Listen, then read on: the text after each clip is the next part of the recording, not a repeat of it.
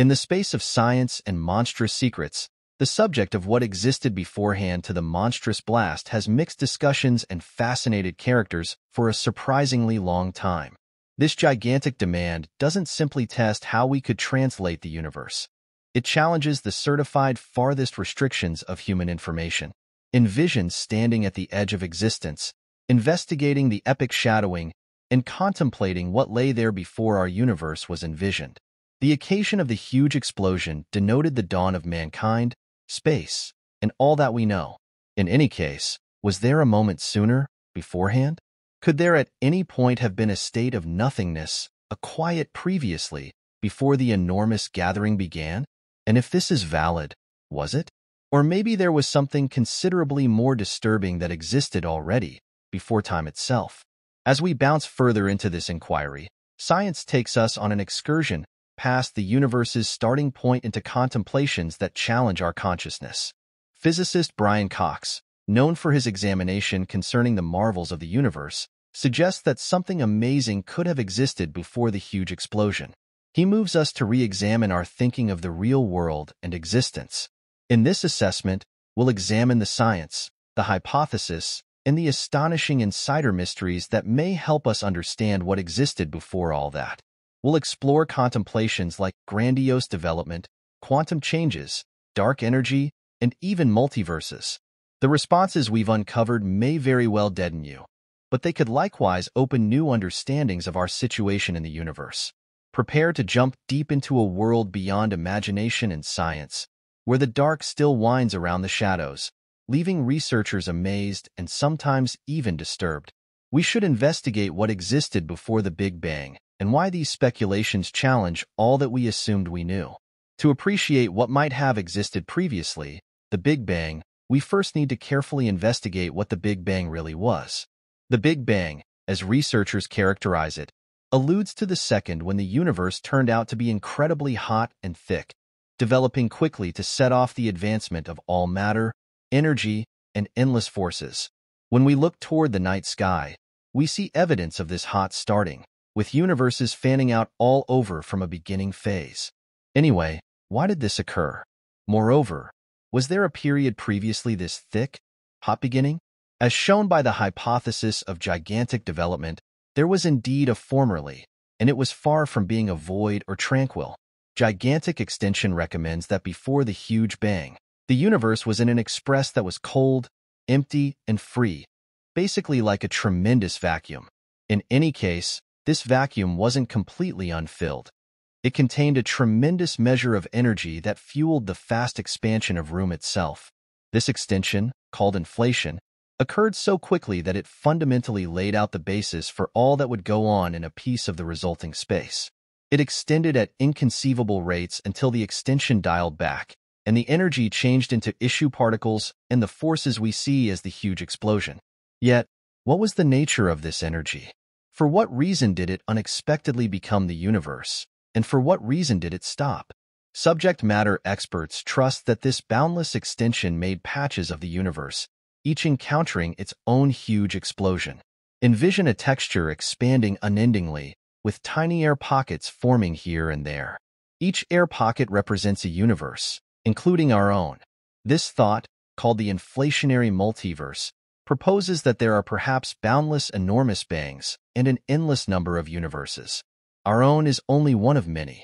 This tremendous, mind-bending reality challenges how we might interpret the very universe itself and leaves us with the inquiry. What else is out there? The possibility of nothingness before the huge bang is speculative, not genuine, at least according to our ongoing comprehension. Whether or not you dispose of all energy, particles, and radiation from the universe, it would still not be truly void. Our universe is loaded up with dark matter, dark energy, quantum fields, and different forces that weave an inescapable, interconnected fabric of something, even in its most empty design paying little mind to whether we imaginatively strip away all of these forces, leaving a dead space, the universe would still produce new kinds of energy. This reality alone is dazzling to experts, as it proposes that genuine nothingness may be impossible within our boundless cognition. Space itself has properties, rules, and constants that keep it from being thoroughly unfilled. Envision making a district with literally nothing in it. No particles, no radiation, and no energy, except for quantum fields and significant constants. These would still exist, proposing that this nothingness has properties. For example, there's an eccentricity called zero-point energy, which represents the most inconceivable energy state of quantum fields. In this state, particles can still quickly appear and vanish, making a creepy reverberation of development, even in what should be vacant space. This challenges what we would consider a genuine void and proposes that yes, even before the huge explosion, there was something that researchers are just beginning to understand. Quite possibly one of the most bewildering speculations in current cosmology is the opportunity of ageless extension.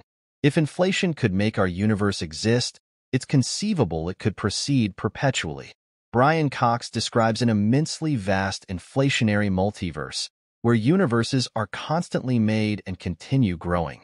Envision each huge explosion as a streak lighting another universe, while inflation goes on in various regions, creating incalculable different universes. This cycle could, in principle, happen forever. This thought of numerous universes births the captivating concept of a fractal universe, where each new universe may in fact create its own huge explosion. Each universe exists as a separate, autonomous space, unaffected by the others due to the rapid expansion of space. For scientists, this speculation is both exciting and disturbing, as it suggests an endless multiverse with no conclusive start or end. Envision our universe being only the smallest bit in a gigantic, infinite design, perpetually growing and continually making new universes. And imagine the upsetting reality. There is no previously or later, but instead an ageless pattern of universes forming and decaying. How we might interpret nothingness changes when we consider quantum field theory. According to this theory, the universe isn't simply a variety of matter drifting in space. Maybe it's a perplexing organization of energy fields that fill the universe, connecting to make all that we notice. These fields are like imperceptible oceans, with particles acting as waves or disturbances. Even when fields are at their most minimal energy level, known as the vacuum state, they are still dynamic. Particles can show up and vanish in these fields instantly, getting energy before returning it. This phenomenon results in virtual particles, substances that quickly exist and then disappear, leaving only a faint memory of their presence. The idea of virtual particles challenges the possibility of a genuine void. Envision an unfilled universe where all matter, radiation, and energy are taken out. Would you have total emptiness? According to quantum field theory, you wouldn't. Even in a vacuum, fields would stay dynamic, sometimes creating transient particles. This constant movement, in what should not be anything, proposes that the universe doesn't recognize our concept of void. The fields and forces break through, filling the universe with a secret energy that prevents absolute nothingness. This grasping raises a charming question. If fields create particles and particles create matter, could the universe itself have risen out of this nothingness, filled with quantum fields? Dull energy is a baffling power that, as of now, drives the sped-up expansion of our universe. However, did dull energy exist before the Big Bang? From certain points of view, the way that dark energy exists today is an echo of an energy field from before our universe's development. The properties of dark energy appear to suggest a giant, stowed-away force that could have existed in some form before the Big Bang. A few speculations recommend that dark energy in a much stronger state, might have controlled the inflationary stage, causing quick development. The presence of dark energy proposes that whether or not our universe were depleted of all matter and radiation, this power would continue to grow the fabric of space-time. This thought prompts a disturbing inquiry. Assuming that dark energy was present before the Big Bang, might it at any point have formed the conditions that prompted the introduction of our universe? Might dark energy at some point be the quiet modeler of expansion, or even in the genuine start of our universe? As we investigate this chance, we face the potential of dark energy not simply as a force shaping our universe, but as a key that could open the secrets of the multiverse itself. Another hypothesis that offers an alternative to the Big Bang as a definitive start is cyclic cosmology, which suggests that the universe goes through vast patterns of birth, death, and revival. In this model, the Big Bang is certainly not a one-time event, but may be part of an immortal cycle where universes expand, collapse, and then recover in another cycle. This hypothesis suggests that our universe could have been reawakened from the remains of a past universe. The interaction of withdrawal and expansion in a cyclic pattern would really mean that there was never a true beginning, but instead an everlasting series of universes arising, developing, and restoring themselves again and again. Cyclic cosmology raises critical inquiries about time, as it proposes that time itself may be recurrent rather than linear. Assuming this hypothesis is right, it could imply that what existed before the Big Bang was simply one more version of the universe, one that imploded solely to give birth to our current universe. For scientists, this hypothesis offers a rich answer to the question of extreme origins, suggesting that there is no evident start. The universe has always existed in some form, rising above our thoughts of time and presence. Gravitational waves are another fascinating idea that could hold hints to what existed before the Big Bang.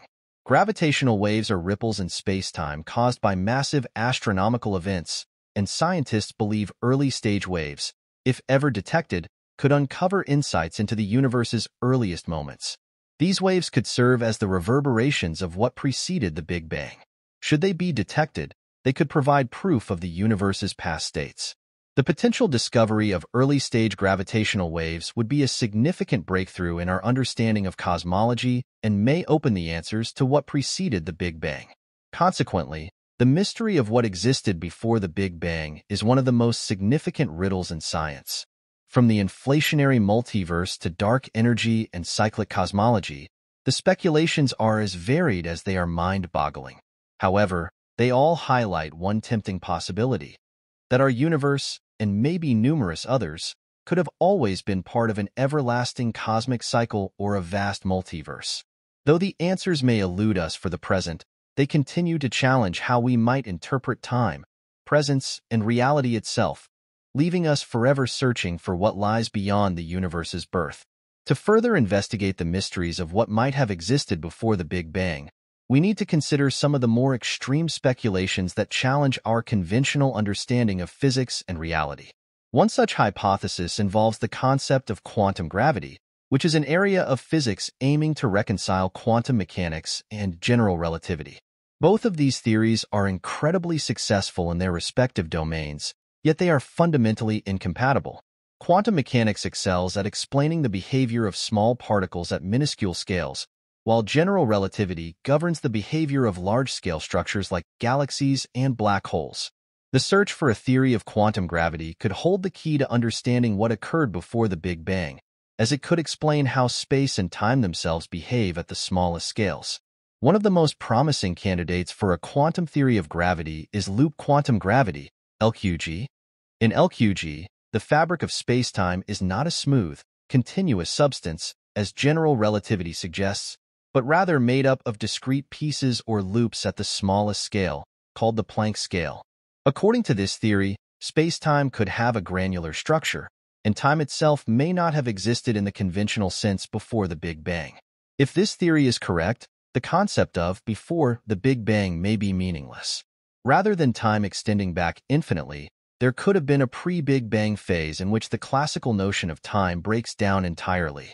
This would make the question of what preceded the Big Bang largely unanswerable, at least within the framework of our current understanding. Another intriguing hypothesis to consider is the holographic principle. This idea proposes that the entire universe, as we experience it, may be a sort of hologram, with the true essence of reality encoded on a lower dimensional surface, much like how a two-dimensional hologram can create the illusion of a three-dimensional object. According to the holographic principle, all of the information that describes our universe could, in theory, exist on the boundary of space-time. In this view, the Big Bang should be seen not as the beginning of the physical universe, but as the event when the information on the boundary of the universe became real, creating the space-time we observe. If this hypothesis holds true, it could mean that the concept of before the Big Bang does not exist, as the universe's boundaries and structure might be part of a larger, more complex reality. Additionally, Another possibility involves the concept of eternal inflation. Eternal inflation is an extension of the inflationary Big Bang model, suggesting that our universe is part of an endless process of inflationary bubbles, each bubble representing a separate, independent universe, while the space between them continues to expand. In this model, there is no clear beginning to the universe. Rather, it suggests a universe that is endlessly producing new regions, with each new region experiencing its own Big Bang, essentially creating an infinite number of universes. This idea reiterates the multiverse hypothesis, but is more firmly grounded in the physics of inflationary cosmology. If eternal inflation is correct, it could imply that the Big Bang wasn't the start of the universe, but merely one event in an eternal and infinite process. One of the more philosophically challenging hypotheses that attempts to answer what existed before the Big Bang involves the anthropic principle. This principle suggests that the universe is in some ways fine-tuned to support life, implying that the conditions of our universe are not random but are suited for the development of living things, such as humans. Some forms of the anthropic principle propose that the reason the universe began the way it did is that, in a multiverse of infinite possible universes, only those with the right conditions for life would permit conscious beings to observe and question their existence. This would suggest that what preceded the Big Bang is not really significant in a cosmological sense, but is significant in an existential one. If this principle holds any truth, it may be interpreted to mean that our universe's origins are inherently tied to our ability to observe and contemplate them, before becoming a general concept dependent on the presence of observers. Another point of approach is through the study of black holes, particularly in the context of the Big Bounce hypothesis. This hypothesis suggests that instead of the universe starting with a singularity, it may have undergone a massive collapse, a big crunch, that eventually bounced back, leading to the current expanding universe. In this model, the universe may have gone through countless cycles of contraction and expansion, with each cycle preceded by a collapse that mirrors what happens inside a black hole. If black holes are gateways to other dimensions or forms of existence, this could offer a clue into what existed before our Big Bang, suggesting that the Big Bang was not a true beginning but the latest in a series of cosmic cycles, each one born from the collapse of its predecessor.